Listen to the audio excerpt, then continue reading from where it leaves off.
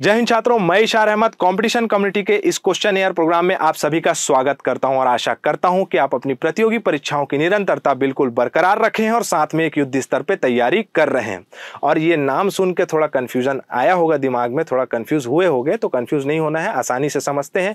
जो question session programme YouTube में चल रहा है, हफ़्ते में चार दिन सब्जेक्ट वाइज टॉपिक वाइज वो वैसा ही चलते रहेगा, उसी पर ही आधारित है आपका क्वेश्चन एयर प्रोग्राम जो कि सिर्फ़ और सिर्फ़ मिलेगा हमारे यूट, हमारे कंपटीशन कम्युनिटी के मोबाइल ऐप में और कंपटीशन कम्युनिटी के वेबसाइट में।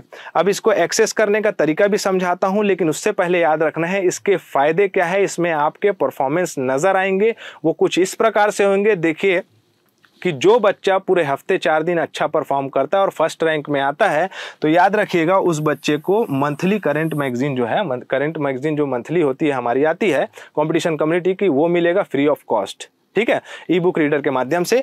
उसके बाद यहाँ देखिए कि जो बच्चा अगर पूरे महीने भर में परफॉर्म करता है तो उसको पाँच टेस्ट सीरीज़ जो कि आगे आने वाली प्रीलिम्स के लिए कंपटीशन कम्युनिटी में हो रही है तो आपको उसका एक्सेस फ्री ऑफ़ कॉस्ट मिलेगा, जो बच्चा परफॉर्म करेगा।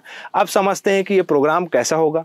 तो याद रखिएगा, जो बच्चा दो, अगर पाँच क्वेश्चन सही बनाता है तो उसे दो स्टार मिलेंगे। जो बच्चा सात क्वेश्चन सही बनाता है तो उसको थ्री स्टार दो बच्चा नौ क्वेश्चन आपका सही बनाता है तो उसको फोर स्टार जो बच्चा दस के दस सही क्वेश्चन बनाता है तो उसे फाइव स्टार मिलेंगे। इसी के अकॉर्डिंग ही आपका जो है मेज़रमेंट सारा होगा। देन उसके बाद आपका रिज़ल्ट रिलीज़ किया जाएगा। ठीक है? और याद रखना है छात्रों कि अगर मोबाइल ऐप डाउनलोड करने के माध्यम से किसी प्रकार से समस्या होगी तो आप क्वेश्चन सेशन प्रोग्राम में यहाँ देख सकते हैं। क्वेश्चन सेशन प्रोग्राम के नीचे में डिस्क्रिप्शन बॉक्स में आपका मोबाइल ऐप का लिंक दिया हुआ है, उसे क्लिक करेंगे। देन आप गूगल स्टोर में जाएँगे। गूगल स्टोर में डाउनलोड करना होगा उसे और डाउनलोड करने के पश्चात आपका क्या होगा? उसमें लॉगिन करना होगा और लॉगिन करने के पश्चात आप देखेंगे कि सामने में आपको क्वेश्चन एयर प्रोग्राम दिखाई देगा। अब जो है आपके लिए चैलेंज आता है। आप 10 में से 10 क्वेश्चन अगर सही बनाते हैं और आपका अगर आप परफॉर्म करते हैं तो आपको वेबसाइट में आप दिखे जाएँगे या आपका नाम शो करेगा उसमें, ठीक है? जय हिंद छात्रों, मैं इशार अहमद कंपटीशन कम्युनिटी के इस क्वेश्चन सेशन प्रोग्राम में आप सभी का स्वागत करता हूँ और आशा करता हूँ कि इसी प्रकार आप अपनी प्रतियोगी परीक्षाओं की निरंतरता बिल्कुल बरकरार रखें और साथ में एक युद्ध स्तर पर तैयारी कर रहे हैं। आइए जाने मिस्टर ध्यानचंद जी के बारे में, मेजर ध्यानचंद जी के बारे में, जिनके नाम से उनतीस अगस्त को हमेशा हर साल जो है खेल रत्न पुरस्कार दिया जाता है। तो वो क्यों दिया जाता है? इसका आशय स्पष्ट करते हुए उनकी विचारधाराओं को हम समझेंगे और अपनी प्रतियोगी परीक्षाओं से रिलेट करेंगे। ये हमारा मुख्य उद्देश्य होना चाहिए। हम यहाँ बैठे हैं, पढ़ाई कर रहे हैं, हमारा सबसे पहला उद्देश्य होना चाहिए कि हमें एडमिनिस्ट्रेटिव सर्विस पाना है मतलब पाना है। तो उस उद्देश्य से इनकी विचारधाराओं को समझते हैं, यहाँ देख सकते हैं आप, मेजर ध्यानचंद जी दिखाई दे रहे हैं आपको। और जो है, ये कहते हैं कि ये मेरे देश की ज़िम्मेदारी नहीं, मुझे आगे बढ़ने के। बढ़ने लिखाया हुआ है, माफ़ी चाहूँगा यहाँ, आगे बढ़ाने की। यहाँ लिखाया है कि ये मेरे देश की ज़िम्मेदारी नहीं है, मुझे आगे बढ़ाने की। ये मेरी ज़िम्मेदारी है अपने देश को आगे बढ़ाने की। तो इस उद्देश्य से हमें अपनी एडमिनिस्ट्रेटिव सर्विस का उद्देश्य लेते हुए बिल्कुल भिड़े रहना है और अपनी निरंतरता बरकरार रखनी है। आज ज़्यादा समय ना लेते हुए भारतीय इतिहास हमारा टॉपिक चल रहा है मतलब विषय चल रहा है, जिसके तहत आगे पढ़ते हैं कि आज का टॉपिक क्या है। तो यहाँ देख सकते हैं छात्रों आप, कि प्राचीन भारत का इतिहास, भारत का इतिहास हमारा विषय है, प्राचीन पोर्शन हम कवर कर रहे हैं, बहुत सारे टॉपिक्स हमने पढ़े, इससे पहले सातवाहन देखा, और सातवाहन देखने के पश्चात हमने देखा कि भारत में जो है विदेशी आक्रमणकारी किस प्रकार से आक्रमण किए, और उसकी नीति भी बताई गई कि आपका, हमारी परंपराओं से जो रिलेट करके हम सीक्वेंस बना रहे हैं तो एक अप्रोच दिया गया था आप लोगों को कि अप्रोच जो है इस प्रकार से रखना है। जो बच्चा पहली बार देख रहा होगा, वो पहला वीडियो जा, इससे पहले वाला वीडियो जाके देख सकता है। ठीक है? और प्राचीन पोर्शन हम कवर कर रहे हैं। आज पढ़ने वाले हैं हम भारत के स्वर्णिम काल। ऐसा काल जिसे स्वर्ण काल के रूप में जाना जाता है। गुप्त काल का आज पहला पार्ट है। भारत भारत सॉरी गुप्तकालीन भारत हमारा विषय है आज का मतलब टॉपिक है। और गुप्त पीरियड हम पढ़ने वाले हैं। ये पार्ट वन रहेगा। तीन पार्ट आएँगे इसमें। टोटल दस राजाओं के बारे में पढ़ेंगे। पार्ट वन में पाँच राजा पढ़ेंगे। फिर उसके बाद पार्ट टू में पाँच राजा पढ़ेंगे। देन उसके बाद इनका प्रशासन पढ़ेंगे, फिर उसके बाद आगे बढ़ेंगे हम, जो जो टॉपिक रहेगा उसके तहत, है ना? तो आगे बढ़ते हैं ये यहाँ देख सकते हैं कि सबसे पहले तो क्लियर होना चाहिए कि गुप्त काल से प्रश्न क्यों पूछे जाते हैं। गुप्त काल से प्रश्न पूछने का कारण इस प्रकार से है, छात्रों, कि गुप्त काल हमने अभी तक के देखा कि जब इंडस वैली सिविलाइजेशन देख रहे थे तो हमें साहित्यिक स्त्रोत नहीं मिल रहा था। वैसे फिर से एक बार समझाता हूँ कि इतिहास जानने के मुख्य तीन स्त्रोत होते हैं। पहला स्रोत होता है आपका साहित्यिक स्रोत। पहला स्रोत साहित्यिक नहीं होता, पहला होता है पुरातात्विक स्रोत, दूसरा स्रोत होता है आपका साहित्यिक स्रोत, और तीसरा होता है आपका विदेशी यात्रों, यात्रियों का यात्रा वित्रांत। ठीक है? तो इसके तहत जो है, हम इतिहास की जानकारी प्राप्त करते हैं। तो अभी तक के हमने पढ़ा कि जितने भी इंडिविजुअल हमने साम्राज्य देखे, जितने भी इंडिविजुअल हमने राजवंश देखे, उसमें जो है, कभी पुरातात्विक खुदाई से प्राप्त, साक्ष्य प्राप्त होते थे और कुछ में जो है साहित्यिक स्रोत भी मिलते थे। लेकिन यहाँ इस गुप्त काल से प्रश्न पूछने का कारण ये है कि यहाँ तीनों इतिहास जानने के स्रोत जो है हमारे साहित्यिक स्रोत, पुरातात्विक स्रोत और आपका विदेशी यात्रों का यात्रा वित्रांत। सारे स्रोत जो हैं आपको गुप्तकालीन साक्ष्य के रूप में प्राप्त होते हैं हमें, और याद रखना है, यहीं से प्रश्न उठाता है, साथ में राजाओं ने क्या क्या किया है, और क्या क्या आपके इनके मतलब उपलब्धियाँ रही हैं, उन सब सारी चीज़ों से प्रश्न पूछता है, ठीक है? तो उससे पहले याद रखना है कि वैज्ञानिकों सॉरी, आपका लेखकों का, इतिहासकारों का भी अलग अलग मतभेद रहा है। किस विषय पे? इनकी जाति पे। तो इनके जाति में जो मतभेद रहा है, वो कुछ इस प्रकार से रहा है कि के पी जायसवाल जो है, वो कहते हैं कि गुप्त लोग जो थे, वो जाट थे, ठीक है? जाट से तात्पर्य क्या है भाई?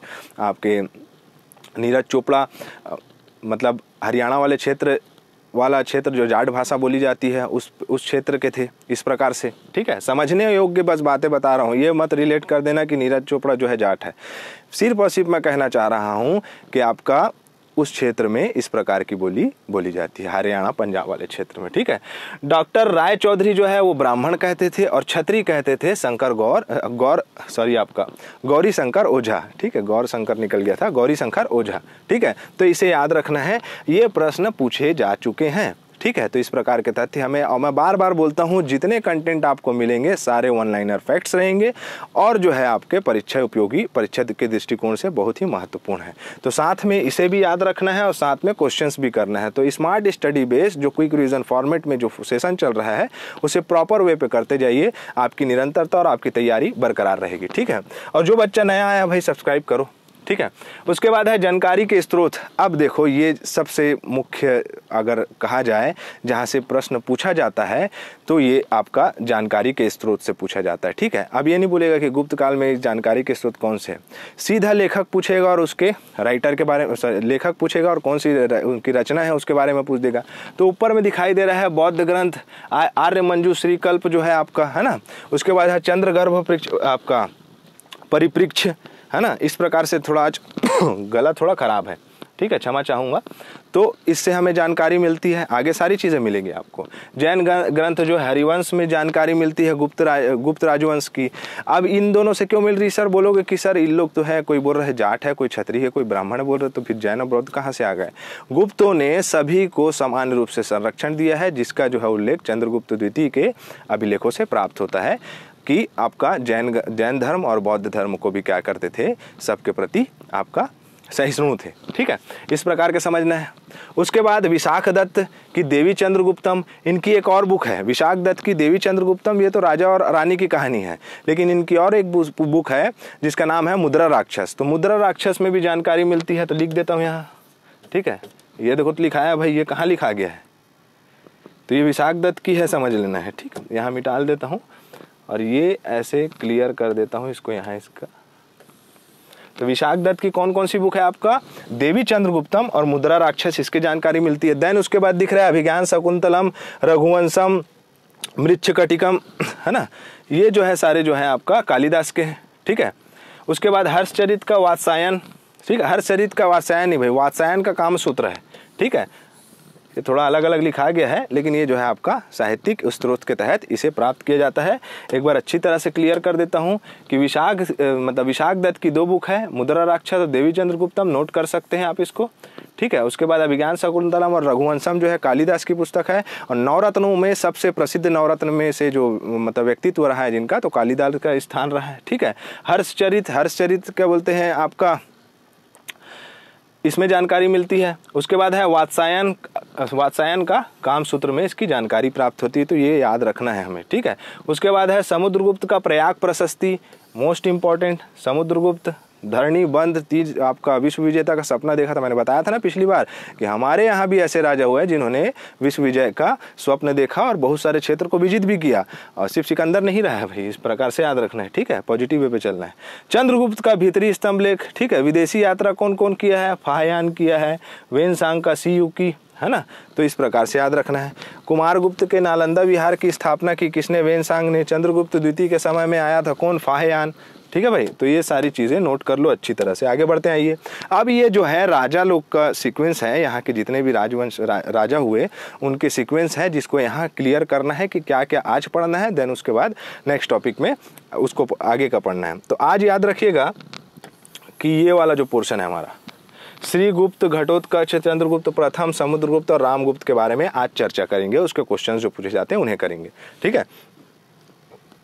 यहाँ देख सकते हैं आप कि चंद्र श्री गुप्त जो है वो संस्थापक रहे ठीक है? उसके बाद है घटोत्कच। घटोत्कच को आपका प्रशासन मिला। अगर वास्तविक संस्थापक बोले जा, बोला जाएगा तो चंद्रगुप्त प्रथम, जिसने कि व्यापक रूप से जो है साम्राज्य का विस्तार किया और आपका गुप्त साम्राज्य को प्रसिद्ध किया। सात वाहनों ने सामंती व्यवस्था प्रारंभ की थी, लेकिन सामंती व्यवस्था का अगर विकास देखा जाए तो आपका गुप्त काल में हुआ था। कैसे?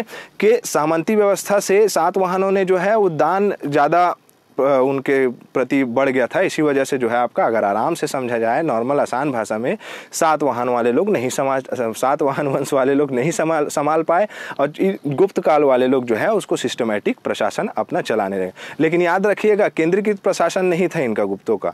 गुप्तों का जो है क्षेत्रीय प्रशासन रहा है, जो कि सामंतों द्वारा चलाया जाता था। लेकिन सात वाहनों ने प्रारंभ किया था सामंती व्यवस्था, ठीक है? लेकिन इन्होंने उसे प्रभावशाली बनाया। देन उसके बाद समुद्रगुप्त मिलेंगे, समुद्रगुप्त के बारे में अच्छी तरह से चर्चा करेंगे, फिर उसके बाद रामगुप्त। देन नेक्स्ट टॉपिक में रहेगा आपका चंद्रगुप्त द्वितीय, कुमारगुप्त, स्कंदगुप्त, भानुगुप्त, विष्णुगुप्त, अंतिम शासक। ठीक है तो इस प्रकार से याद रखना है। ठीक है तो आज जिसे पढ़ना है, आगे स्टार्ट करते हैं हम। चंद्रगुप्त प्रथम। श्रीगुप्त जो है वास्तविक संस्थापक रहे हैं, उतना प्रभुत्व नहीं रहा उनका। फिर घटोत्कक्ष के घटोत्कच के पुत्र चंद्रगुप्त प्रथम जो है, उसके बारे में पढ़ेंगे। घटोत्कक्ष का भी प्रभाव उतना नहीं रहा, लेकिन याद रखना है, प्रथम शासक कौन थे? श्रीगुप्त। उसके बाद घटोत्कक्ष है द्वितीय शासक, और तृतीय शासक मतलब कि जो वास्तविक संस्थापक रहे हैं, वो आपका चंद्रगुप्त प्रथम रहे हैं, ठीक है?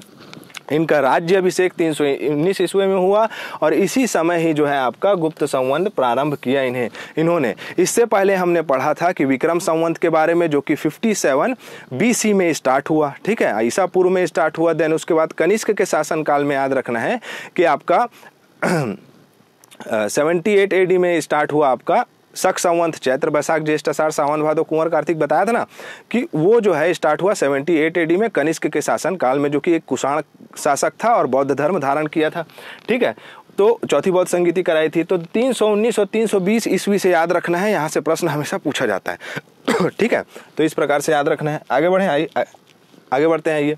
देन उसके बाद आते हैं समुद्रगुप्त। अब समुद्रगुप्त के बारे में समझना है भाई। समुद्रगुप्त को भारतीय नेपोलियन की संज्ञा दी गई है। विश्व में नेपोलियन ने विश्व विजय का स्वप्न देखा था और अपनी मतलब सैन्य शक्ति को के द्वारा बहुत सारे क्षेत्रों को विजित किया। उसकी संख्या, संज्ञा जो है, आपका समुद्रगुप्त से दिया जाता है। ठीक है? और हमारे वाले, हमारे यहाँ वाले लोग को दे देना चाहिए नेपोलियन को कि समुद्रगुप्त की संज्ञा। ठीक है? तो ऐसे किसी का संज्ञा लेके नहीं चलना चाहिए, लेकिन याद रखिएगा कि नेपोलियन कहा जाता है, प्रश्न पूछा गया है। ठीक है? और नेपोलियन को संज्ञा दे दिए समुद्रगुप्त ठीक है? मज़ाक कर रहा हूँ, लेकिन सही बात बोल रहा हूँ। कहे किसी की संज्ञा लेंगे? समुद्रगुप्त अपने आप में इंडिविजुअल समुद्रगुप्त है। ठीक है? उसके बाद है, इसे धरणीबद्ध के रूप में जाना जाता है। धरणीबद्ध से तात्पर्य है, धरती को चारों तरफ़ से बांधने वाला। ठीक है? तो याद रखना है, वास्तविक लक्ष्य था इसका, धरणीबद्ध पृथ्वी को बांधने वाला। इसने परम भट्टारक की उपाधि धारण की और बहुत सारी उपाधि आगे में मिलेगा आपको देखने को। विश्व विजय का स्वप्न देखा था। दक्षिण विजय अभियान के दौरान तीन नीतियाँ चलाई थी इसने समुद्रगुप्त ने। अब कौन सा था? ग्रहण, मोक्ष और अनुग्रह। पहले ग्रहण करता था और छोड़ देता था और प्रशासन जो है टैक्स दो भाई, टैक्स लेता था सबसे, ठीक है? मतलब ग्रहण मतलब कि पहले ग्रहण कर लेना, टैक्स लेना मतलब छोड़ देता था, लेकिन आपका टैक्स लेता था और अनुग्रह मतलब कि सबसे जवाब मांगते रहता था। इस प्रकार से सेंस लगा सकते हैं। एकदम डिटेलिंग में नहीं जाएँगे, इतिहासकार नहीं बनना है। लेकिन याद रखना है, ग्रहण, मोक्ष और अनुग्रह, ये तीन नीति के तहत जो है आपका समुद्रगुप्त ने अपना प्रशासन चलाया और इसका प्रशासन इतना व्यापक था कि कहा जाता है कि इसका घोड़ा जो है तीनों समुद्र का पानी पीता था। कहा जाता है ठीक ठीक है? तीनों समुद्र कैसे हुए? जो ज्योग्राफी का क्लास नहीं देखा है, वो देखे, जाके, ठीक है? बोलेगा, कौन सा तीन समुद्र, सर? छोटा सा नक्शा बना देता हूँ यहाँ। सिक्किम हो गया, त्रिपुरा, मिजोरम हो गया। अपने से ऐसी मैपिंग कर करके बनाया करो। ये वाला हो गया आपका बे ऑफ़ बंगाल बंगाल की खाड़ी, ये अरब सागर वाला क्षेत्र और यह हो गया आपका हिंद महासागर। ठीक है तो तीनों आपका समुद्र का क्या पीता था? पानी पीता था इसका घोड़ा। ठीक है, इस प्रकार से याद रखना है। ठीक, आगे बढ़ते हैं ये। फिर उसके बाद आते हैं रामगुप्त। रामगुप्त एक प्रकार से अभागा के रूप में प्रसिद्ध मतलब सामने आया। इसमें बहुत सारे मतभेद है, लेकिन एक बुक आती है, जिसका नाम है देवी चंद्रगुप्तम, जिसे लिखा किसने है? विशाख दत्त ने लिखा है, और इसमें जो है, इनकी बीवी देवी के बारे में चर्चा है, जिसका विवाह एंड ऑफ़ द डे किसके साथ हो जाता है? इसके बाद आने वाले शासक चंद्रगुप्त द्वितीय, विक्रमादित्य के साथ, और वो एक प्रतापी शासक के रूप में सामने आते हैं, लेकिन रामगुप्त पढ़ रहे हैं तो रामगुप्त के बारे में जानेंगे कि समुद्रगुप्त के बाद प्रशासन किसे मिला? रामगुप्त को मिला उत्तराधिकारी था, पत्नी की रक्षा करने में असफल असफल रहा, बहुत बहुत सारे मतभेद है। लेकिन विशाख दत्त के देवी चंद्रगुप्तम में कहा जाता है कि ये असफल रहे भाई नहीं पसंद आई होंगी उनको। पढ़ी लिखी थी बहुत मतलब आपका बातचीत नहीं किए होंगे शादी के पहले। अच्छे से, ठीक है? सॉरी क्षमा चाहूँगा। तो ये याद रखना है भाई, ठीक है? रामगुप्त से ये प्रश्न पूछता है, क्या? विशाख दत्त की देवी चंद्रगुप्तम। आगे बढ़ते हैं। यहाँ से हमारा प्रश्न सत्र चालू होता है। फटाफट जो है प्रश्न करना प्रारंभ करते हैं। गुप्त संवंत की स्थापना किसने की? तुरंत आंसर लगाओ। चंद्रगुप्त द्वितीय, सॉरी, चंद्रगुप्त प्रथम ने 319 में, तीन सौ उन्नीस बीसी में, ठीक? है बीसी में नहीं एडी में। देन उसके बाद आता है, भारत का नेपोलियन किसे कहा जाता है? तो भारत का नेपोलियन कहा जाता है। समुद्रगुप्त को कहा गया भाई? ये रहा है, ठीक है? आगे बढ़ते हैं। क्षमा चाहूँगा, आज थोड़ा गला थोड़ा खराब है। प्रथम गुप्त शासक जिसने परम भागवत की उपाधि धारण की, याद रखिएगा, परम भागवत की उपाधि धारण की थी समुद्रगुप्त ने। ठीक है, आगे बढ़े। अगला है, इलाहाबाद का अशोक तो परम भागवत हो गया, धरणीबद्ध हो गया, और आपका बहुत सारी उपाधियाँ देखने को मिलेगा आगे में। इलाहाबाद का अशोक स्तंभ किसके शासन के बारे में सूचना प्रदान करता है? सारी चीज़ें हैं इसमें ना, इसलिए बोल रहा हूँ, आगे में मिलेगा। तो इलाहाबाद का अशोक स्तंभ किसके शासन के बारे में सूचना प्रदान करता है? तो इलाहाबाद का अशोक स्तंभ किसके शासन काल के बारे में जानकारी प्राप्त करता है? समुद्रगुप्त के बारे में ठीक है? जिसे ही प्रयाग प्रशस्ति कहा जाता है तो प्रश्न इस प्रकार से घुमा के भी पूछा जाता जा, जा सकता है। समुद्रगुप्त के प्रयाग प्रशस्ति जो कि हरिश्रेण द्वारा लिखा गया है उससे ही समुद्रगुप्त की सारी जानकारी मिलती है ठीक है? तो इस प्रकार से भी प्रयाग प्रशस्ति को घुमा के पूछा जा सकता है ठीक है? आगे बढ़ते हैं ये प्रश्न हमारा प्रयाग प्रशस्ति किसके सैन्य अभियान के बारे में जानकारी देती है? देन उसका ही ये भाई है तो किसके जानकारी मिलती है? तो किसके द्वारा कृत है? समुद्रगुप्त के बारे में जानकारी मिलती है और कृत द्वारा, किसके द्वारा लिखी गई है? तो आपका हरिश्रेण द्वारा, ठीक है? आगे बढ़ते हैं ये। समुद्रगुप्त के प्रयाग प्रशस्ति में कौशल के शासक का क्या नाम था? ठीक है, ओके। कौशल का शासक का नाम क्या था? इसमें कुछ मिस्टेक है। कौशल चंद्रगुप्त, प्रथम समुद्रगुप्त, कुमारगुप्त, चंद्रगुप्त द्वितीय। महेंद्र महेंद्र नाम था। ठीक है तो इसका आंसर होगा महेंद्र। ठीक है। क्या होगा आंसर इसका? महेंद्र नाम था। ठीक है, कौशल मतलब कि आपका उत्तर प्रदेश के नीचे वाला क्षेत्र, छत्तीसगढ़ का उत्तरी भाग और मध्य प्रदेश का उत्तर पश्चिमी भाग। ठीक है, उत्तर पूर्वी भाग। तो महेंद्र नाम था उसका। यहाँ जो है ऑप्शन नहीं दिया है, क्षमा चाहूँगा। इसमें से कोई सा नहीं है। कुमार गुप्त भी नहीं था, चंद्रगुप्त प्रथम, चंद्रगुप्त द्वितीय कोई नहीं है। कौशल का शासक बोल रहा है तो महेंद्र नाम था कौशल का शासक का। ठीक है? तो याद रखना, आगे बढ़ते हैं ये। महेंद्र, सही होगा उसका आंसर। प्रश्न क्रमांक सात है, समुद्रगुप्त के प्रयाग प्रशस्ति वाले स्तंभ पर निम्नलिखित में से किसका लेख मिलता है? ओके तो याद रखिएगा, जहाँ भी अपवादित इस प्रकार से प्रश्न दिया जाए और मुगल शासकों का अगर नाम ज़िक्र होता है तो जहांगीर आंसर लेना है। ठीक है? अकबर कहीं मिलेगा, वो भी आपका अकबर वाले अकबर बोलता हूँ, अशोक वाले शासन का अशोक वाले पार्ट में पढ़ाया मैंने, अच्छी तरह से उसे जाके देखें, ये ऐसी, इसी प्रकार का प्रश्न मिलेगा, लेकिन जहांगीर के बारे में याद रखना है कि उसने समुद्रगुप्त के प्रयाग प्रशस्ति को जो है, पहले कौशाम्बी में था, फिर इलाहाबाद लेके आ गया, ऐसे जो है मतलब साक्ष्य मिलते हैं, लेकिन जहांगीर आंसर लेना है इसका, ठीक है? आगे बढ़ते हैं इन लोग को हमेशा इधर से उधर टोपरा, अभिलेख को भी उठा के लेके आ गए तो वो जो है, करते थे इधर उधर काम धाम नहीं रहता था पहले। इधर लाओ, उधर करो, करते रहते थे। ठीक है? फिर उसके बाद है, पृथ्विया प्रथम की उपाधि, पृथ्विया प्रथम की उपाधि किसने धारण की? देखो, ये भी पृथ्विया प्रथम। ठीक है?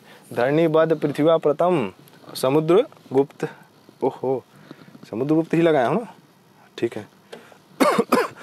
प्रश्न क्रमांक दस है, कौन सा राजवंश हुणों के आक्रमण से के अत्यंत विचलित हुआ? याद रखिएगा, गुप्त काल ही हुणों के आक्रमण। ये हुण इसलिए लेके आ रहा हूँ कि आगे मैं पढ़ेंगे कुमार गुप्त स्कंद गुप्त के बारे में। तो गुप्तों के शासन काल में ये प्रथम पाठ है तो याद रखना है, गुप्तों के शासन काल में सबसे ज़्यादा किसने आक्रमण किया? आपका हुणों ने आक्रमण किया और स्कंद गुप्त ने अच्छी तरह सामना किया और जो है उनको भगाया। इस प्रकार से याद रखना आगे बढ़ते हैं, आइए। निम्नलिखित कथन पढ़िए, ठीक है भाई, पढ़ते हैं। हरिसेन समुद्रगुप्त के दरबार का प्रसिद्ध कवि था, बिल्कुल सही है। उसने देवी चंद्र गुप्तम महाकाव्य लिखा, बिल्कुल गलत है, विशाख दत्त ने लिखा है। वह प्रयाग प्रशस्ति का भी रचयिता है, बिल्कुल सही है। तो एक और तीन सही होगा कहाँ दिख रहा है? एक, दो, तीन दो, तीन, एक। ये रहा आंसर, ठीक है? इस प्रकार से आंसर लगाना है। इंग्लिश मीडियम वाले रीड करो read the following sentence Harisena was a famous poet of Samudragupta's court okay सही है। देन उसके बाद he compose the epic Devi Chandraguptam बिल्कुल गलत है। इज़ नॉट कंपोज ठीक है। फिर उसके बाद he was also the author of Prayag Prashasti बिल्कुल सही है। That was also the author of Prayag Prashasti तो एक और तीन सही होगा इसका आंसर तो इस प्रकार से याद रखना है। आगे बढ़े।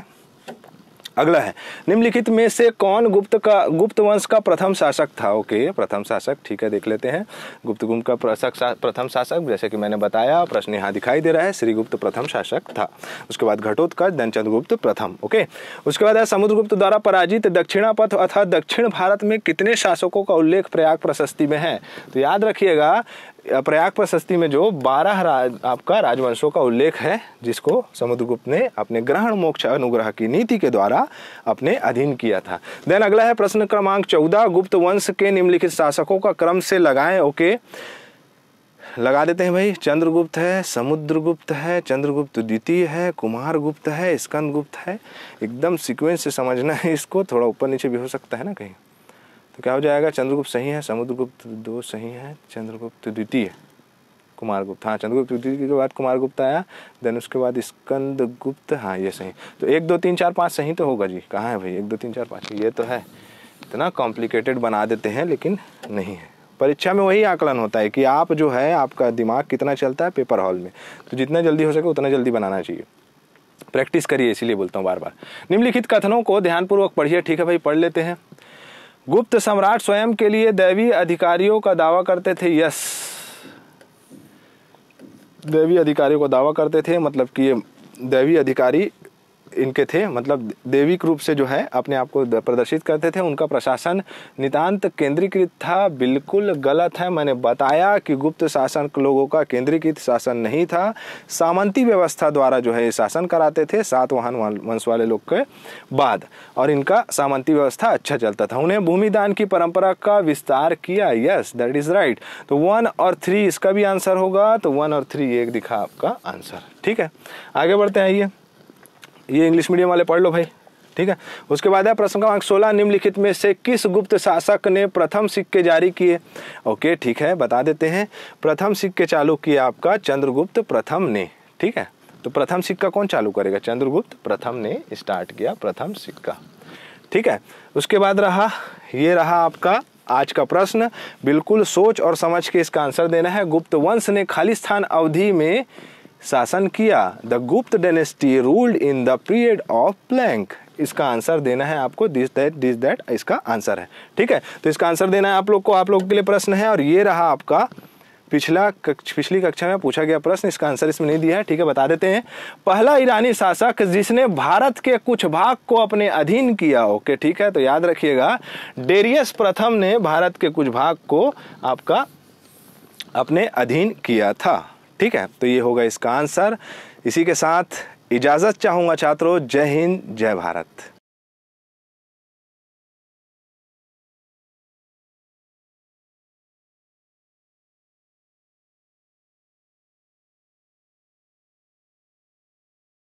you